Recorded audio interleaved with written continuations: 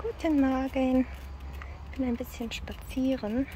Nach dem Sturm guck mal, was er alles angestellt hat. Überall liegen Äste, überall sind auch Absperrungen und Kräne, die irgendwelche Bäume da zurecht machen. Das ist schon echt heftig, was der hier angerichtet hat.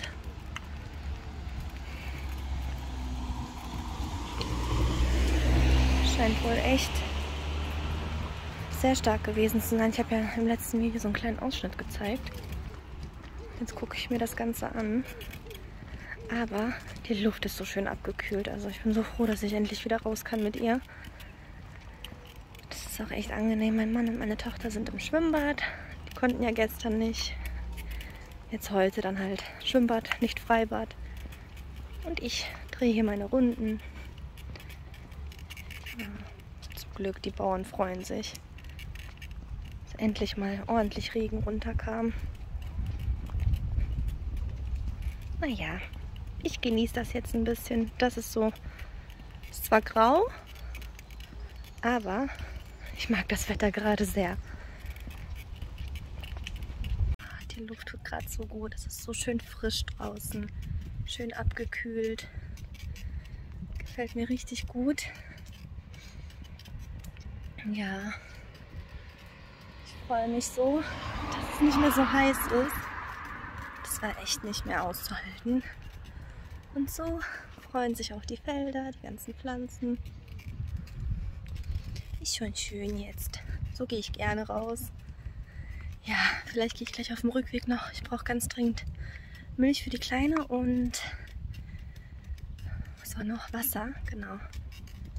Das muss ich gleich einkaufen. Ja, das mache ich dann auf dem Rückweg und dann gehe ich nach Hause. Mal gucken, vielleicht so ein, zwei Stunden. Ja, kochen brauche ich heute auch nicht. Wir haben immer noch Reste von gestern. Ist auch schon mal gut. Und morgen muss ich auf jeden Fall einen von den zwei Zucchinis verarbeiten. Ja, ich habe so schon zwei, drei Ideen. Ich nehme euch dann auch mit. Mal gucken, was draus wird. Lasst euch überraschen. Und ja, was gibt sonst zu sagen? Gar nichts eigentlich. Ich genieße jetzt das Wetter. Euch auch einen schönen Tag, je nachdem wann ihr das Video schaut. Und ja, viel Spaß. So, boah, ich kann nicht mehr. Mir ist so heiß. Äh, ich komme gerade vom Einkaufen. Ich war jetzt spazieren und jetzt war ich noch schnell im Lidl. Ich wollte eigentlich nur ganz wenig kaufen, bin 50 Euro los. Es waren aber super Angebote dabei und irgendwie, ja, ich war zwar mit dem Kinderwagen und alleine. Es war jetzt gerade echt anstrengend bei der, es ist richtig schwül geworden, die Sonne kam jetzt raus. Aber ja, irgendwie, weiß ich nicht, musste ich das jetzt machen. ich habe äh, zweimal Eis, ich habe die schon aufgemacht und in den Gefrier ins Gefrierfach geschmissen, damit die nicht schmelzen. Das war mit der App, ich glaube 20% günstiger. Dann 1,99 das Pepper Woods Eis gab es bei uns endlich wieder. Meine Tochter liebt das. Zweimal Kefir. Eine ist leider mir in der Tasche kaputt gegangen. Da ist so ein kleines Loch und das ist hier drauf gekippt. Und meine Einkaufstasche musste ich jetzt in die Wäsche schmeißen. Schnell, weil bei der Hitze wird das so schnell stinken. Einmal Wasser. Das Müsli hier gab es umsonst mit der App. Dann war der Kaffee im Angebot. Mein Mann hat eh fast leer hier. Ne? Kefir ist ausgelaufen. Die waren auch 20% billiger, die Servierten. Dann Pistazien mögen wir sehr gerne. Das war auch reduziert 1,49 diese Woche. Ich liebe die, die sind so lecker. Auch belegt oder einfach nur mit ein bisschen Frischkäse und Kräutern noch drauf. Richtig lecker. Dann Fruchtzwerge für nur 1 Euro für meine Tochter. Ach, da ist ein Stiel mit bei. Das habe ich gar nicht gesehen. Hm, das ist Kindheit. Äh, und ein Brot brauchten wir. Eigentlich wollte ich ein anderes nehmen, aber das ist neu. Irgendwie Senfkruste mit irgendwas. Wollte ich mal probieren. Das ist schön weich. Und das hat auch 1,99 gekostet. Habe ich jetzt mitgenommen. Ja, und Kefir ist teurer geworden. Das hat immer 69 Cent gekostet. Jetzt kostet es 89 Cent. Ich bin so, ja, ein bisschen sauer, warum jetzt alles so extrem teuer wird. Ne? Auch Wasser 25 Cent, das war immer 19 Cent. Ja, Kleinvieh macht auch Mist, ne? wie sagt man. Dann zeige ich euch jetzt auch noch den Rest. Ähm, einmal Heidelbeeren, 400 Gramm, no, äh, 2,39 Euro. Ich liebe Heidelbeeren, richtig lecker. Dann war zweimal Bauchscheiben auf 50% billiger. Sieht man ja hier den Preis. Einmal mit Paprika und einmal mit Barbecue. Ich mag Bauch nicht, aber mein Mann mag das und ich schmeiße es dann einfach ins Gefrierfach, weil es ist bei uns jetzt so oft so, dass wir richtig spontan ähm, zu den Eltern zum Beispiel in den Garten fahren und dann grillen wollen. Dann hole ich es einfach immer aus dem Tiefkühler. Also ich habe es dann gerne da, wenn es gerade im Angebot ist. Warum nicht? Zweimal Butter, die war auch reduziert, 1,99. Dann so Parmesan gehobelt, das liebe ich im Salat. Ähm, Tomaten waren leer. Dann habe ich nochmal so ein Hähnchen genommen. Das war jetzt 4,99 das Kilo. Also noch günstiger. Und wie viel habe ich denn jetzt hier? Ja, knapp, knapp 1,5 Kilo. Und äh, das sind nicht ganz 6 Euro. Also lohnt sich schon auf jeden Fall. Ich zerteile das dann einfach und werde ähm, ja, das alles einfrieren. Also Hühnchenbrust getrennt, dann die Schenkel vielleicht getrennt und so. So mache ich das dann und wenn ich das dann brauche, auch den Rücken verwerte ich ja. Ähm, ich weiß nicht, ob das Video jetzt schon draußen ist oder es noch kommt, aber auf meinem anderen Kanal, ähm, meinem Food-Kanal, da mache ich aus diesem einen Hähnchen vier Gerichte. Genau, vielleicht ist da ja ein bisschen was äh, als Idee für jemanden dabei. Jagdwurst für meinen Mann, dann darauf gab es auch 20% mit der App. Geflügelbratwurst schmeiße ich auch einfach ins Gefrierfach eine Gurke, Hefe und Käse. Genau, das war's. Ah, und noch das, Mil das Milchpulver für meine Tochter. Das habe ich aber jetzt unten noch vergessen. Ich musste ja alles alleine schleppen. Das liegt noch im Kinderwagen. Hole ich dann gleich hoch. Ja, das war's. Verräume ich das jetzt mal alles und ziehe mich um. Und ja, das ist jetzt so heiß geworden. Ich kann nicht mehr.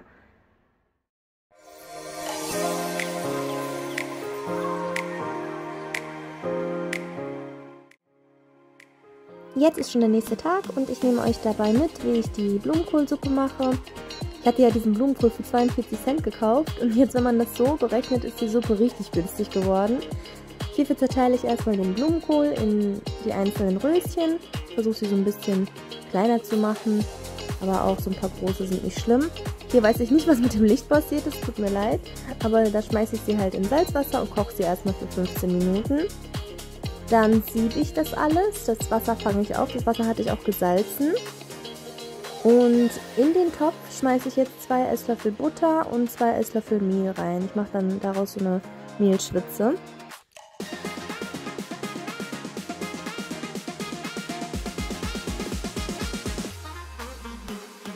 Ich mache das mit dem Schneebesen, damit es halt dann keine Klümpchen gibt.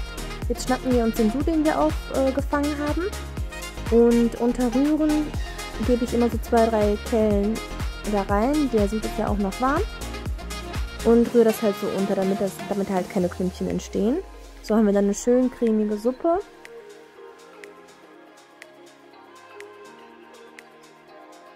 Ja, während die Brühe dann so ein bisschen nochmal aufkocht, schnappe ich mir ein Ei und trenne Eigelb und Eiweiß. Wir brauchen das Eigelb jetzt.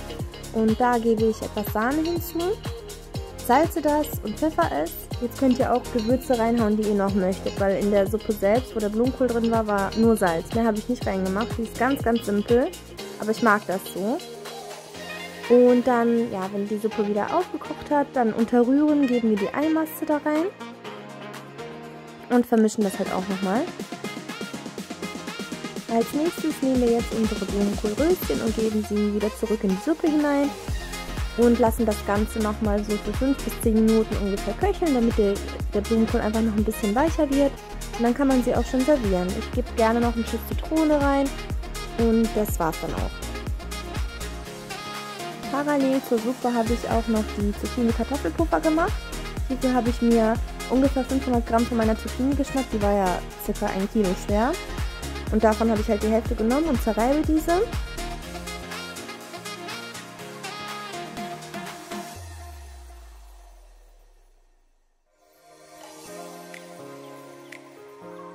Ich mache das auf der etwas gröberen Reibe, also nicht die ganz feine. Ich mag das einfach, wenn die Stücke so ein bisschen, ja, zu sehen und zu spüren sind dann später. Ich gebe das jetzt alles in ein Sieb, damit ich das ganze Wasser ausbringen kann. Also ich lasse es einfach erstmal so stehen, solange ich mich den Kartoffeln widme. Ich hatte leider nur noch zwei große da. Das waren jetzt circa 200 Gramm. Vielleicht auch ein bisschen weniger.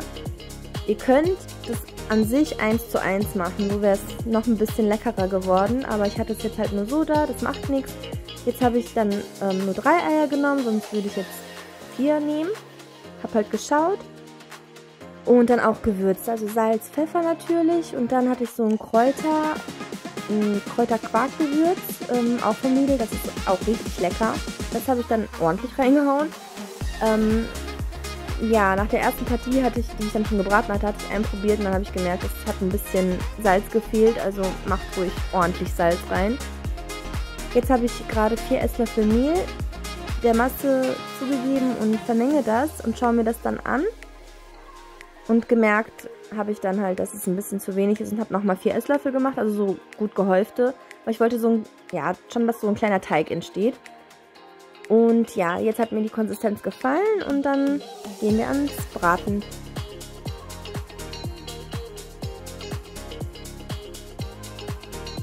Ich brate die Puffer in einer Pfanne bei mittlerer Stufe in reichlich Öl an.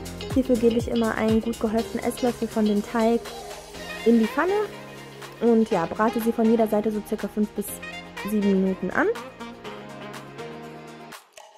Wenn sie fertig sind, gebe ich sie auf ein Zewa, sodass das überschüssige Fett abtropfen kann.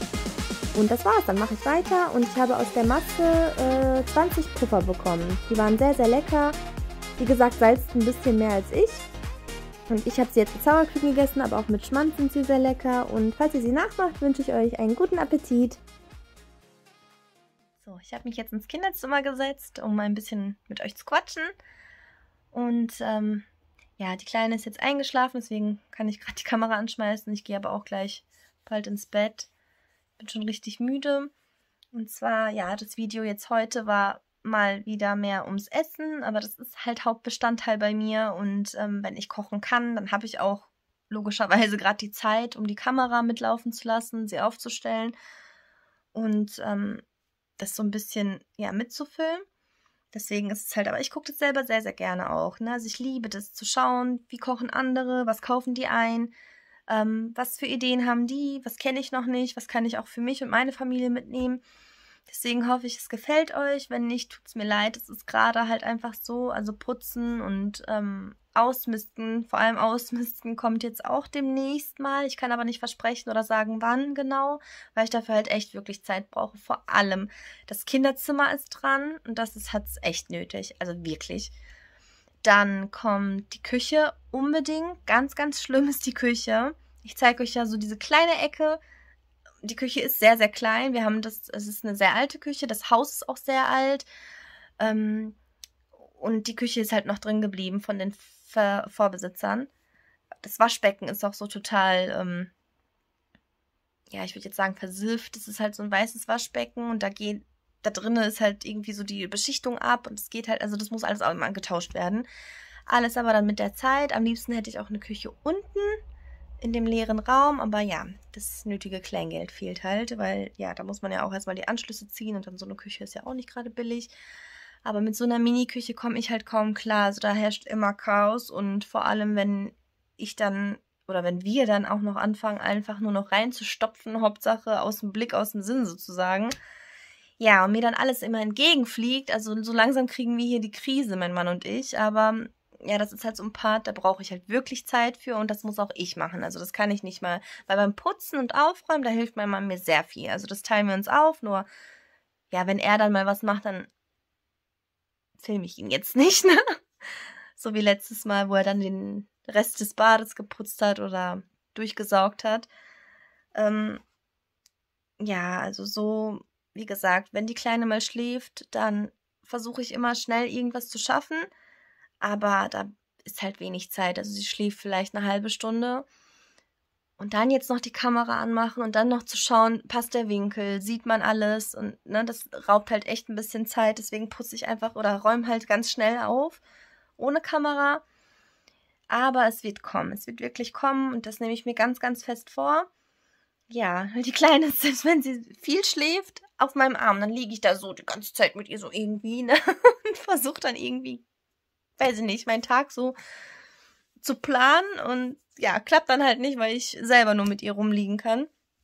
Weil sobald ich sie weglege, dann ja, weint sie und ich trage sie halt sehr, sehr viel, aber ja, das, ich finde das jetzt nicht schlimm. Also ich finde auch nicht, dass ich sie verwöhne, weil das gehört dazu. Sie ist so klein, dass diese Zeit rennt weg. Die ist einfach bald nicht mehr da und dann sitzt man da und bereut es.